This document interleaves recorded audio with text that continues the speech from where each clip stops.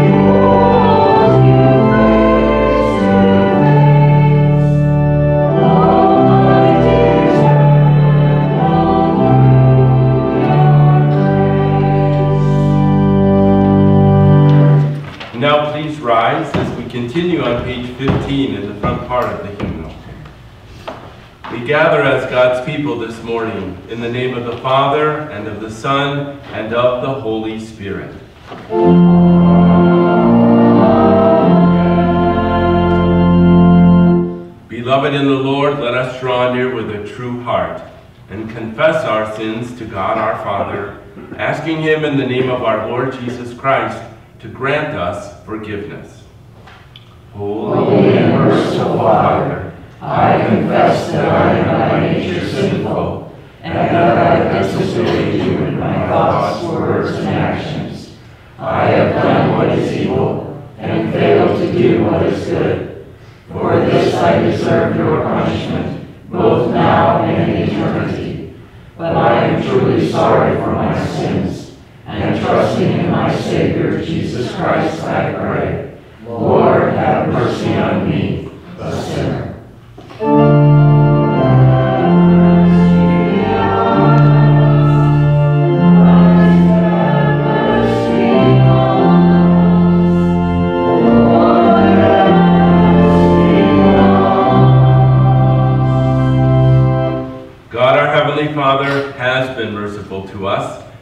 Given his only Son to be the atoning sacrifice for all of our sins.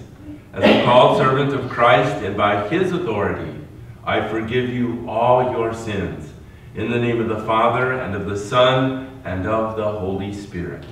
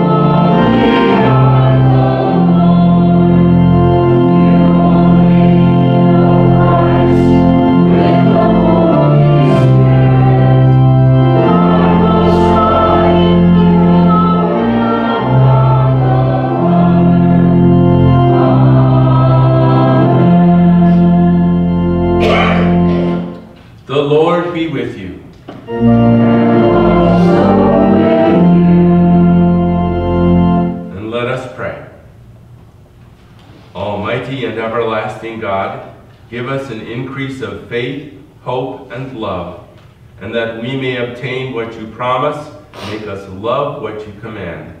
Through Jesus Christ, your Son, our Lord, who lives and reigns with you and the Holy Spirit, one God, now and forever.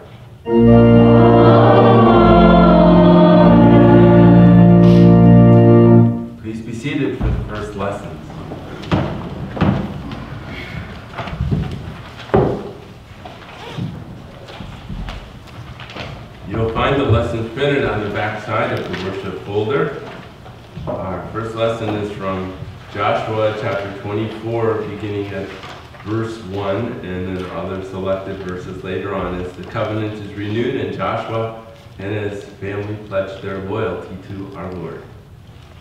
Then Joshua gathered all the tribes of Israel at Shechem, and he summoned the elders of Israel, its heads, its judges, and its officers, and they presented themselves before God. Then Joshua told all the people, This is what the Lord, the God of Israel, has said. Now therefore fear the Lord and serve him wholeheartedly and faithfully. Remove the gods that your fathers served in the region across the river and in Egypt, and serve the Lord. But if you see no benefit in serving the Lord, then choose for yourselves today whomever you will serve, whether the gods that your forefathers served beyond the river, or the gods of the Amorites in whose land you are living. But as for me and my household, we will serve the Lord. The people responded by saying, Far be it from us to forsake the Lord in order to serve other gods. For the Lord our God is our God. He is the one who brought us and our ancestors up from the land of Egypt, where we were slaves. He is the one who performed those great signs right before our eyes and protected us on the whole journey that we made and among all the peoples through whom we passed. The Lord drove out of our presence all the peoples and the Amorites who were living in the land. We too will serve the Lord because he is our God. This is our first lesson. Our psalm for today is Psalm, 9, uh, psalm 71 on page 92. We'll sing the psalm in unison today.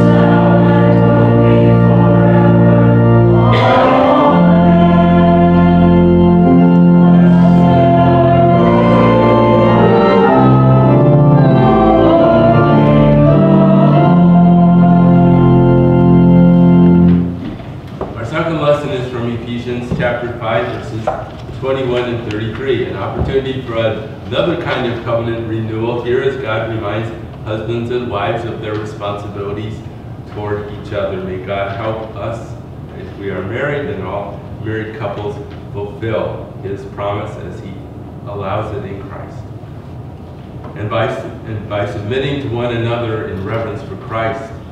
Wives submit to your husbands as to the Lord. For the husband is the head of the wife just as Christ is the head of of that church his body of which he is the savior. Moreover as the church submits to Christ so also wives are to submit their to their husbands in everything. Husbands, love your wives in the same way as Christ loved the church and gave himself up for her to make her holy by cleansing her with the washing of water in connection with the word. He did this so that he could present her to himself as a glorious church, having no stain or wrinkle or any such thing, but so that she would be holy and blameless. In the same way, husbands have an obligation to love their own wives as their own bodies. He who loves his wife loves himself.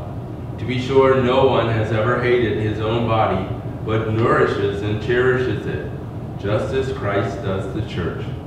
Because we are members of his body, of his flesh and his bones. For this reason, a man will leave his father and mother and be joined to his wife, and the two will be one flesh. This is the word of our Lord. Our response to this is hymn 506. We'll sing all the stanzas.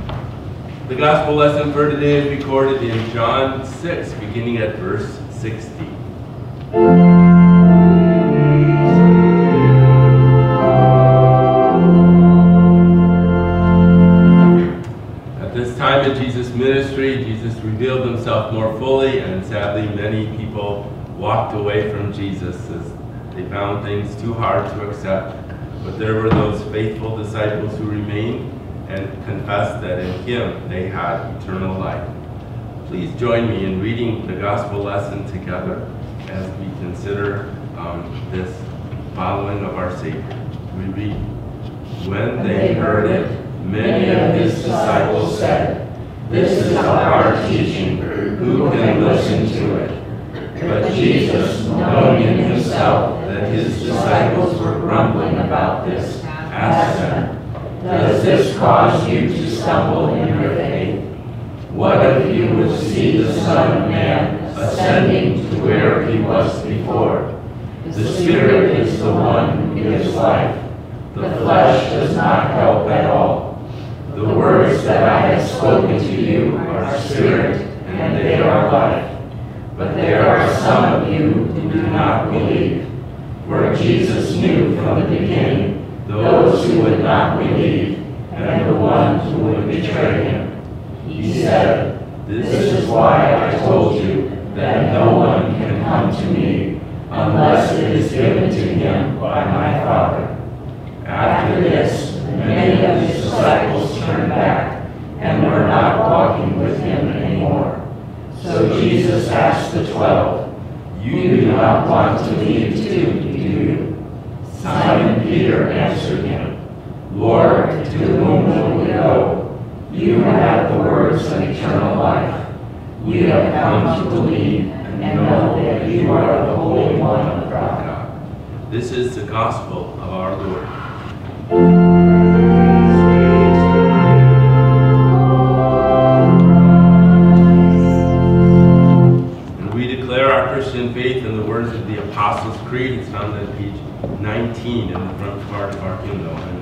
We join to confess, I believe in God the Father Almighty, maker of heaven and earth. I believe in Jesus Christ, his only Son, our Lord, who was conceived by the Holy Spirit, born of the Virgin Mary, suffered under Pontius Pilate, was crucified, died, and was buried. He descended into hell. The third day he rose again from the dead. He ascended into heaven, and is seated at the right hand of God the Father Almighty. From there he will come to judge the living and the dead. I believe in the Holy Spirit, the holy Christian church, the communion of saints, the forgiveness of sins, the resurrection of the body, and the life everlasting. Amen. Please be seated as we continue with our sermon hymn number 356.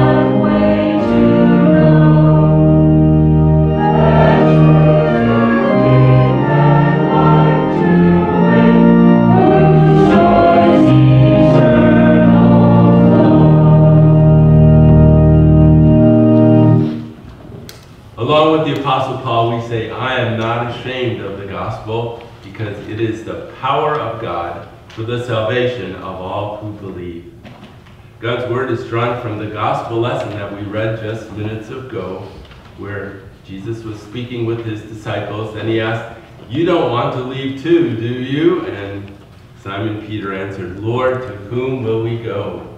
You have the words of eternal life. We believe and know that you are the Holy One of God.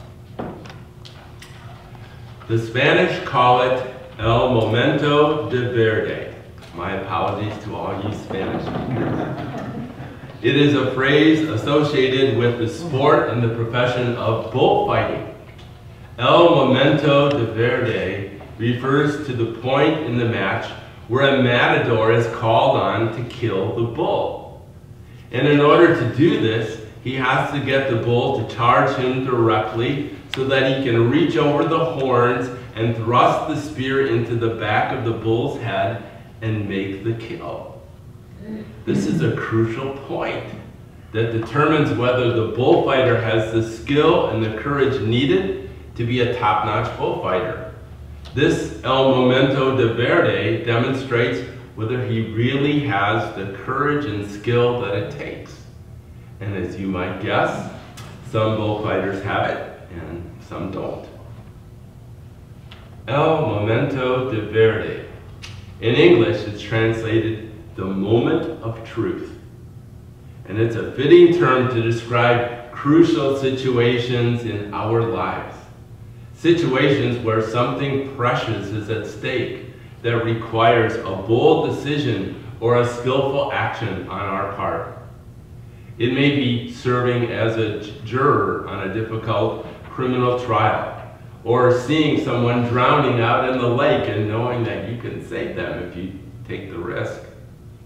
Deciding on whether to have a risky but potential, potentially helpful surgery. Confronting someone who's a danger to themselves or to others, or asking that gal if you want to marry her, if, you'll, if she'll marry you, and, and her decision to say yes or no to you. There are many situations that would fit the term the moment of truth in a person's life. But it is especially applicable to the spiritual and the eternal aspects of our lives. For example, El Momento de Verde is a fitting term to describe what it was like for the followers of Jesus after he gave the bread of life discourse in John chapter 6. Jesus had said a number of strange and surprising things about himself. That he was the one God sent from heaven to be the Savior of sinners and the source of eternal life for people. Jesus also made the startling announcement that people were to recognize and receive him more as more than a great rabbi or a great prophet who had God's favor or someone who could perform miracles. Jesus summoned people to recognize and receive him as nothing less than the Christ, who was the Lord God himself and on a mission of salvation. How the people responded would be for them a matter of eternal life or eternal death, a moment of truth. When Jesus spoke those words, people had to take them in and consider what was at stake. Would they realize the divine truth of what Jesus was saying to them? Would they acknowledge the powerful evidence that pointed to Jesus as the Son of the Most High God and the bread of life? Would they carefully consider the testimony of the great miracles he had performed that pointed to his divinity? Would they honestly trust the truthful words he spoke that the Holy Spirit was now persuading them to believe as he was working in their hearts? Would they personally embrace Jesus as their Savior sincerely, as their God sent Savior and Lord? Would they respond as they should at this critical, decisive time? What would they do with their moment of truth? These are questions not only for the people back then, but also for us as we consider Jesus and face our spiritual moments of truth. A large number of the curiosity seekers had already expressed their opinions about Jesus. They thought that Jesus' claims were outlandish and unacceptable to them. And so they turned away and they left. When they realized that Jesus was not going to be instituting a welfare program to provide for their physical needs by continuing to give them bread and fish day after day, well, they just didn't care to hang around. All they wanted was some physical benefit from Jesus, some nice, comfortable earthly conditions from him.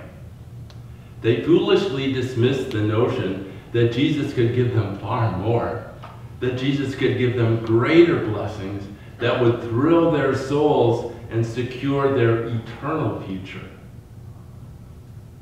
Now it was getting down to those who had a stronger interest in Jesus and who had demonstrated some level of commitment to following him. What would the response be of those who remained? Jesus tells us, or John tells us, excuse me, Many of Jesus' disciples said, This is a hard teaching. Who can accept it?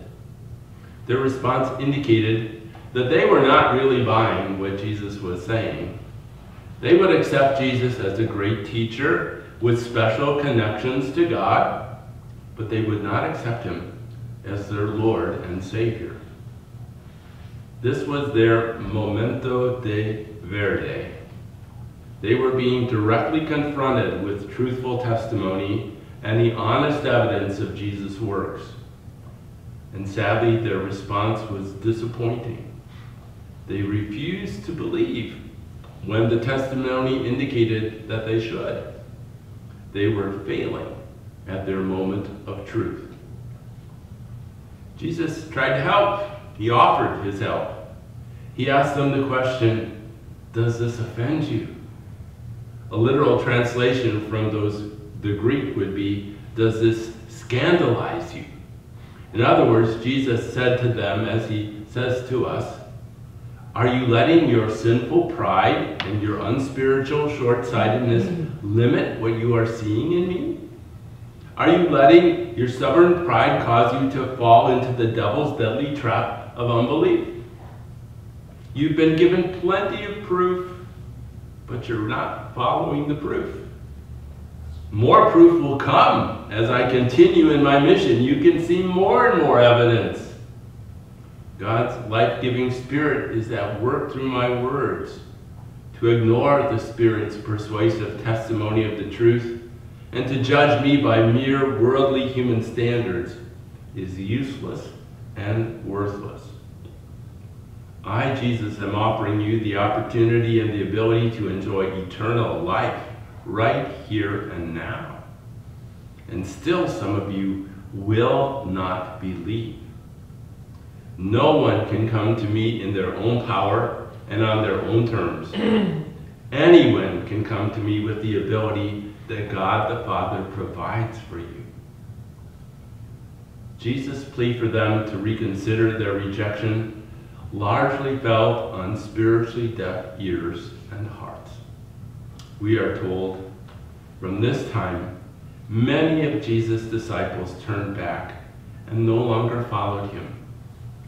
The thousands of followers Jesus had before had become hundreds of followers and now the hundreds of followers would become just dozens. Many people walked away from Jesus and they no longer confessed their allegiance to him. In their personal moments of truth, they would not accept the divine truth the Holy Spirit was presenting to them. And so they failed in the great thing, the one great thing that God wanted them to succeed in. They did not believe in Jesus as the God sent bread of life and Savior. Many people left the company of Jesus that day. They declared their disappointment in him and they returned to their old ways of life. Some likely never gave Jesus much serious thought after that. Many people left, but not everyone. Some remained. Jesus turned to the twelve. He turned to those close disciples who had traveled with him all the time. He asked them, You don't want to leave me too, do you? And the way that Jesus asked that question, he was expecting the answer to be, No, no, Jesus, we don't want to leave you. And as it turned out, that's the answer he received. The twelve disciples and the others with them responded quite differently than the others had. Speaking of for the twelve, St. Peter said, Lord, to whom shall we go? You have the words of eternal life. We believe and know that you are the Holy One of God. These followers of Christ were not going to leave, even though others did. By the mercies of God, they set aside their natural resistance and refusal of God's truth and love. They accepted the testimony and they accepted the evidence. They were convinced. They had to go someplace for spiritual truth and life, and they realized that Jesus was the only one to go to for that. They recognized him as the Holy One of God, the perfect Lord of heaven, who had come to earth to seek and to save them in their sinfulness. They respected Jesus' words as true. His words gave them eternal life. Their minds were made up. They had been convinced by the facts. It didn't matter if everyone else walked away. They knew the truth and they were staying. Our Lord Jesus Christ gives us our personal moments of truth about Him too. He exposes us to His wonderful works and words. He explains their meaning and their importance to us. And along with that, He sends His Holy Spirit to testify to our hearts and minds and to persuade us to believe in Him. Many people in our world continue to foolishly ignore and refuse Jesus, as so very many have done in the past. But there are those who believe and continue to believe and to remain with Him. There are those who refuse to follow the crowd and insist on following the Lord. What about us? What will we do? God makes the truth about Jesus very clear. He gives us ample evidence in His Word that He is the God appointed Savior. He makes it known that it's Jesus who's come to serve us as no one else has, to give us perfect obedience, a sin removing death, and a victorious resurrection that can rescue us. To ignore His saving power, to refuse to acknowledge His love, is dishonest and sadly deadly.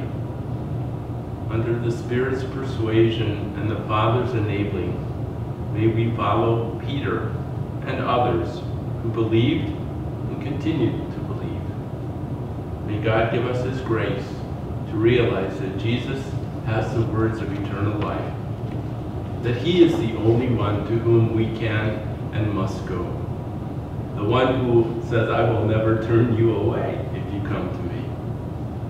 And then let us follow Jesus in our thankful obedience, in our joyful worship, in our willing service, and in our loving witness to Him.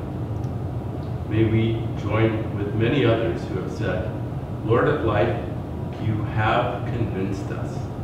And so we will stay close even when others walk away, and we will speak up even when others stay silent. Amen. The God of hope fill you with all joy and peace as you trust in him that you will overflow with hope by the power of his Spirit. Amen. Please rise now as we continue on page 20 to join in singing the Create in Me.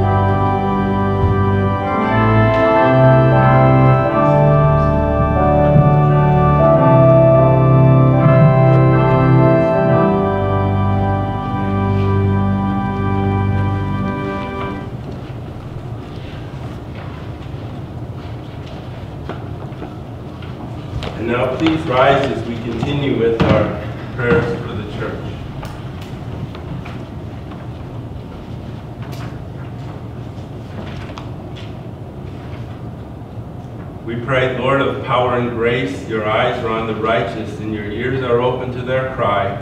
Hear the prayer of your people who now come in thankfulness for the mercies that you pour down on us each day.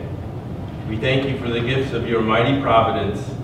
Make us mindful, Lord, that you provide us with life, breath, and being, and are the source of our daily bread. We praise you for the gift of your Son, Jesus Christ, who is the bread of life, whom you sent to be the Savior of the world. Grant that we may believe in him with all of our hearts, learn from him the great truths of the kingdom to which he bore faithful witness, and follow him faithfully our whole life long. Grant us your Holy Spirit that we may produce the fruits of righteousness, be endowed with unwavering faith, so that we may always be ready to do your will. We pray for the nations of the earth, subdue terror and tyranny everywhere. We especially pray for the people of Afghanistan who are going through extreme hardships at this time. We pray that you will provide peace and safety for people in peril. And we also ask you to call forth leaders who will acknowledge that you are Lord over all the earth. Bless our own land. May it ever follow that which is good and turn from all that which is wicked that our people may prosper in rightness and integrity. Hear, O Lord, our cry for those who are afflicted, those who are going through difficult times and hardships, those who are hospitalized or lonely. Grant them health in body and soul, and save them for your mercy's sake. And now hear us, Lord, as we come and bring you our private petitions.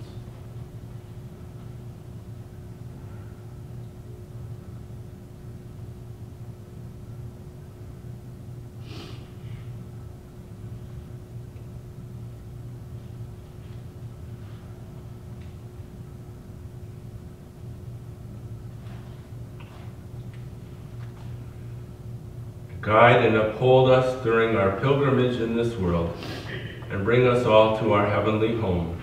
Receive these petitions in the name of the Prince of Life, Jesus Christ our Lord, who has also taught us to pray. Our Father, who art in heaven, hallowed be thy name. Thy kingdom come, thy will be done on earth as it is in heaven. Give us this day our daily bread and forgive us our trespasses, as we forgive those who trespass against us. And lead us not into temptation, but deliver us from evil. For thine is the kingdom, and the power, and the glory, forever and ever. Amen. We also pray, Blessed Lord, you have given us your holy scriptures for our learning. May we so hear them, read, learn, and take them to heart that being strengthened and comforted by your holy word, we may cling to the blessed hope of everlasting life that, it, that is ours through Jesus Christ our Lord, who lives and reigns with you and the Holy Spirit, one God, now and forever.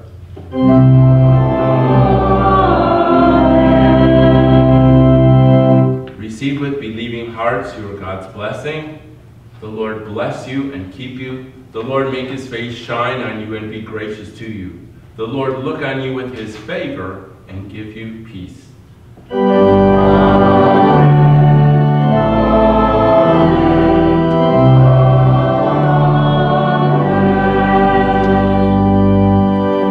may be seated for the closing hymn, number 484.